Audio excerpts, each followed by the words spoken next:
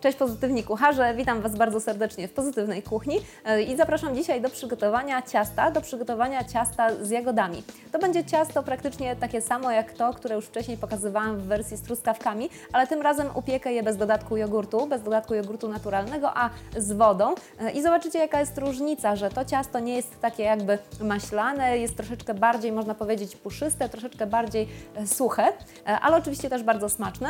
Jagody można dodać do tego ciasta na dwa sposoby. Można wymieszać je tak, żeby ciasto w środku było piegowate, ale ja wolę wyłożyć je w taki sposób, żeby większość jagód jednak została na powierzchni. Gorąco Wam polecam, wypróbujcie przepis na to ciasto, na pewno Wam posmakuje. Możecie je polać też dodatkowo jakąś polewą albo posypać cukrem, pudrem. E, Sposobów na dekorację jest kilka. Gorąco Wam polecam i zapraszam do wypróbowania przepisu.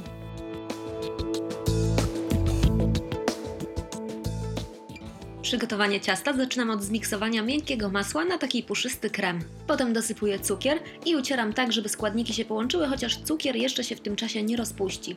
Następnie wbijam jedno jajko, rozmiksowuję całość na gładko i potem wbijam drugie i znów miksuję tak, żeby wszystkie składniki się połączyły. To ważne, żeby masło było odpowiednio miękkie. Przy twardym masa po prostu będzie taka troszeczkę zważona. Kiedy jajka połączą się już z masłem i cukrem, można dodać wodę mineralną gazowaną albo jogurt naturalny. Najlepiej z dodatkiem soku z cytryny.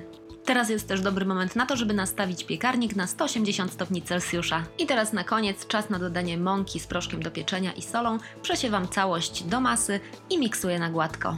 Kiedy masa jest już gładka, można dodać do niej jagody. Ja wykorzystam jagody mrożone, można też oczywiście świeże. Wcześniej przed dodaniem trzeba je wymieszać z jedną łyżką mąki. Połowę jagód dodaję do masy i bardzo delikatnie mieszam łopatką. Teraz można też dodać skórkę z cytryny albo wanilię. Gotową rozmiksowaną masę trzeba przełożyć do tortownicy, do tortownicy wysmarowanej masłem i opruszonej mąką albo wyłożonej papierem do pieczenia.